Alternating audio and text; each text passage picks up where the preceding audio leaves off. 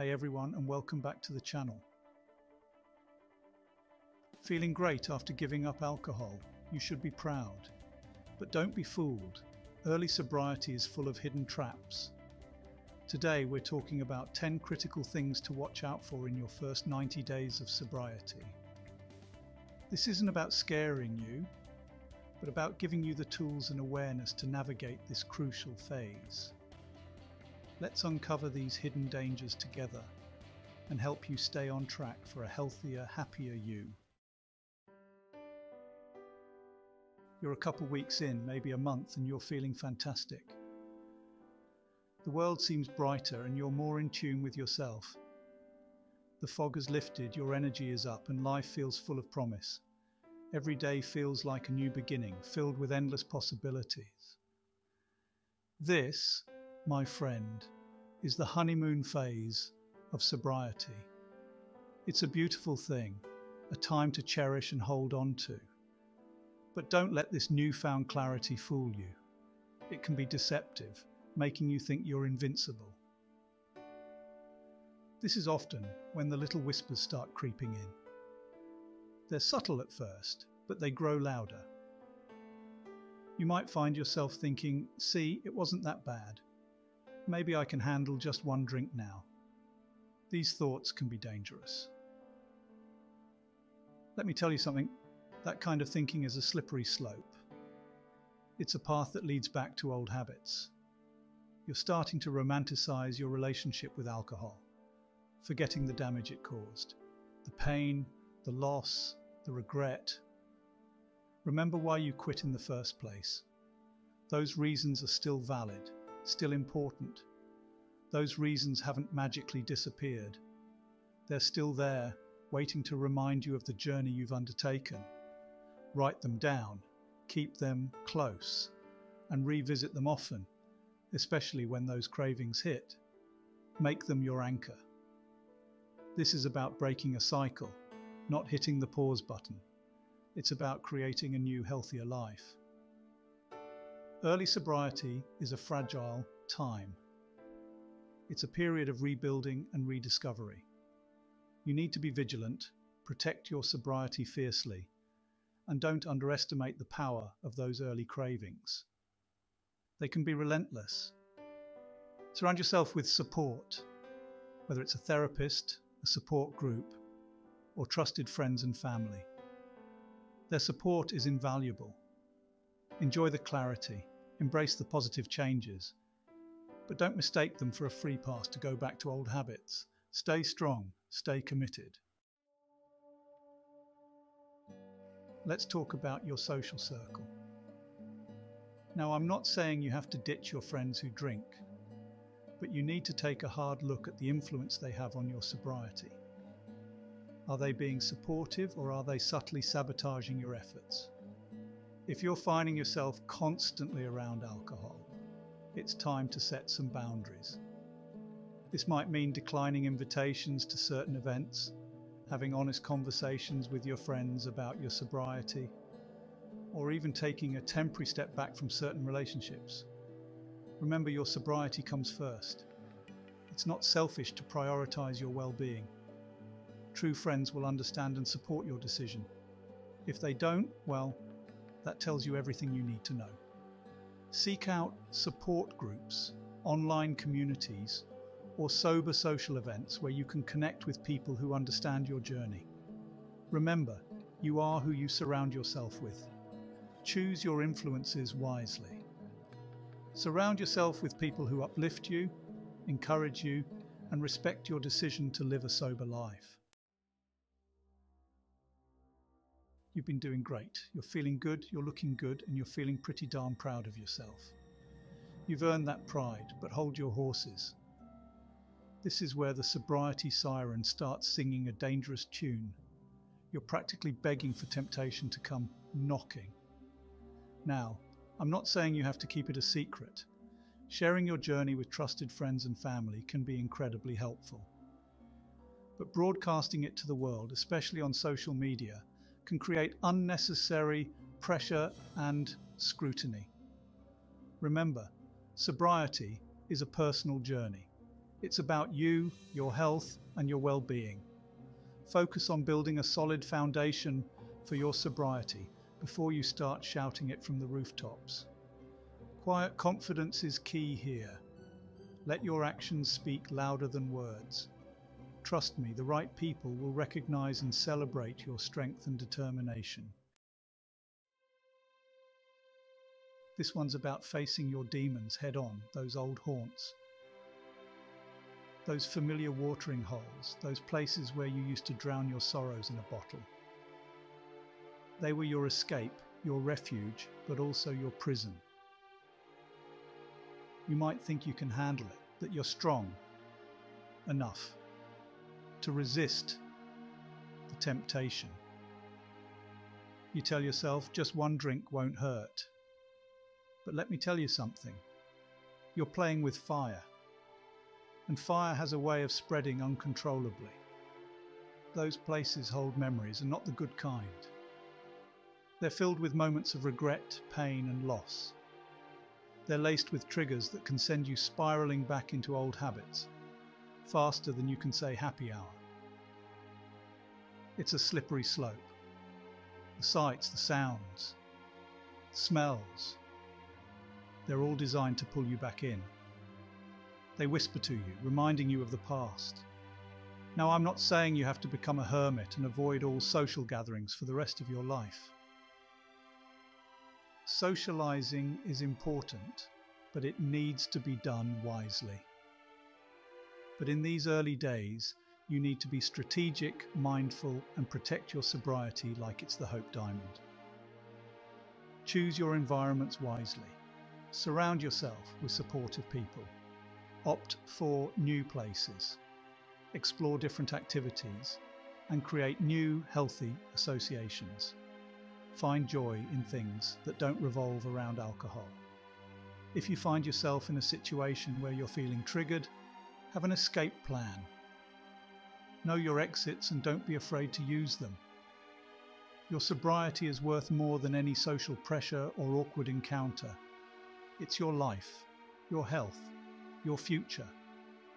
There's a whole world of new experiences waiting for you, experiences that don't involve a hangover. Embrace them, and you'll find a new kind of freedom. You've made it a month, two months, maybe even longer. You're feeling good, you're feeling strong, and that little voice starts whispering again. Just one drink, it says. You deserve it. It won't hurt. Don't listen to that voice. It's a liar, a deceiver, a wolf in sheep's clothing.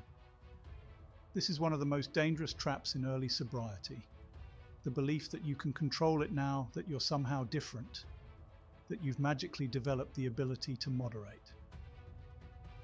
Let me be blunt. You haven't. Addiction is not a switch you can turn on and off. It's a disease, a cunning and baffling one at that. And just one drink can be all it takes to reactivate those cravings, to send you spiraling back into the abyss. Remember all the work you've done, the progress you've made, the healthier, happier life you're building. Is one drink, one night of fleeting pleasure, worth jeopardizing all of that? You're stronger with support, and there's absolutely no shame in asking for it. You've given up the booze, you're feeling great. But now you find yourself reaching for the cookie jar, the candy aisle, or that extra large coffee with an extra shot of espresso. Sound familiar? Here's the thing addiction is a tricky beast. When we take away one vice, our brains are hardwired to seek out a replacement. You might find yourself replacing alcohol with sugar, caffeine, nicotine, or even workaholism. These might seem like harmless substitutes, but they can quickly turn into unhealthy coping mechanisms themselves. Now, you do not have to live a life of complete deprivation.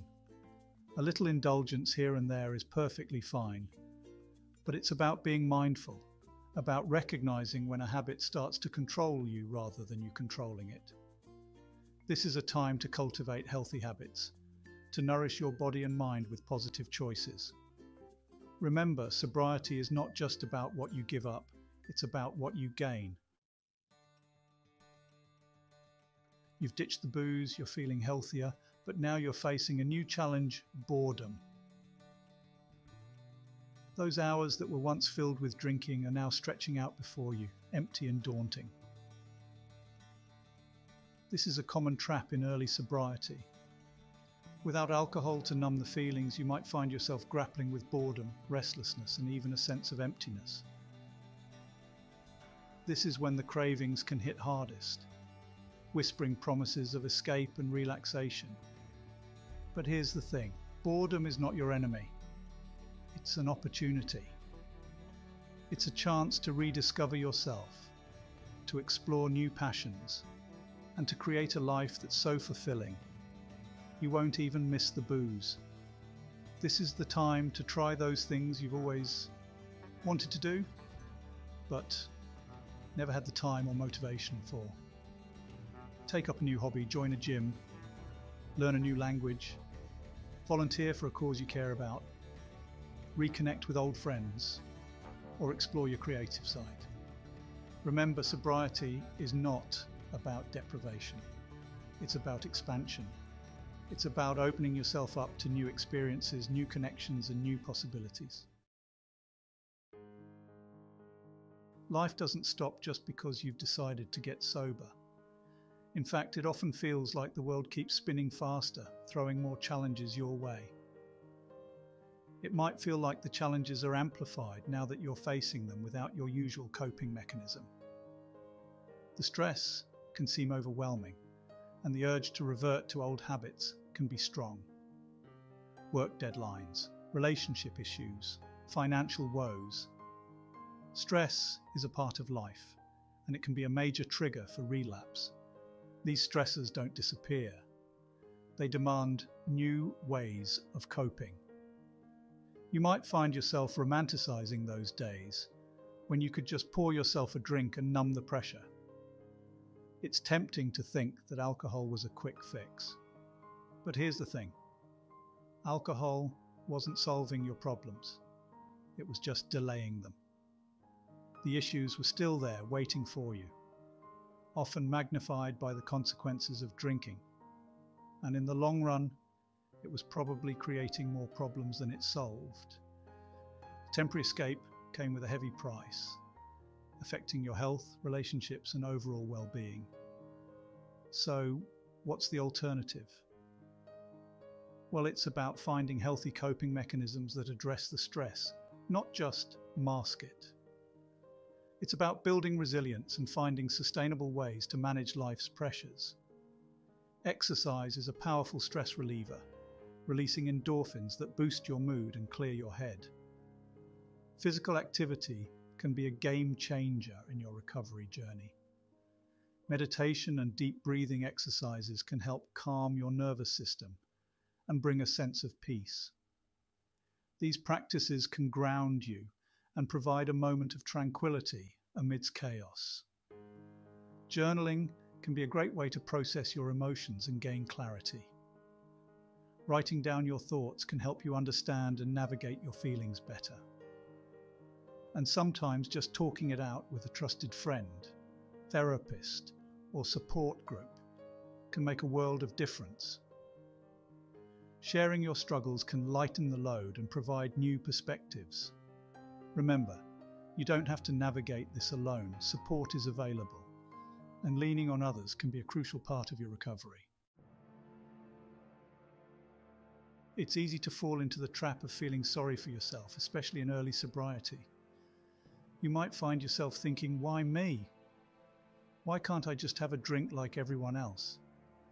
You might feel like you're missing out, like life is passing you by. This victim mentality is a dangerous trap. It keeps you stuck in a cycle of negativity, resentment, and self pity, which are all fertile ground for relapse.